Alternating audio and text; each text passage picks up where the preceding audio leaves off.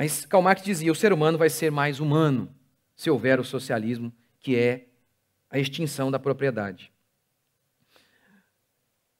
União Soviética, Camboja, Cuba, China, todos esses aplicaram o socialismo com leves variações, como por exemplo o socialismo de Mao Tse Tung, ao invés de focar no proletariado para fazer o seu exército, focou nos camponeses.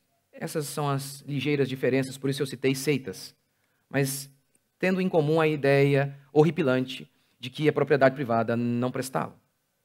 Eles praticaram isso, extinguiram a propriedade. E o que aconteceu? O adorável mundo novo veio? De maneira alguma. De maneira alguma. Era comum se praticar o canibalismo nesses países. Canibalismo. No Camboja, por conta da fome oriunda do sistema econômico vigente, o socialismo, as pessoas foram levadas a comer caracóis, cobra e formiga. Você que gosta de sá, comunista. Não, brincadeira. Mas eles comiam porque não tinham o que comer. Não tinham o que comer. Não, o mundo não era, não foi bom. Os homens não se tornaram melhores, se tornaram quase animais. Os gulags eram os campos de concentração na União Soviética, onde aquelas pessoas que discordavam do regime eram levadas para lá. As pessoas que não queriam trabalhar eram levadas para os gulags.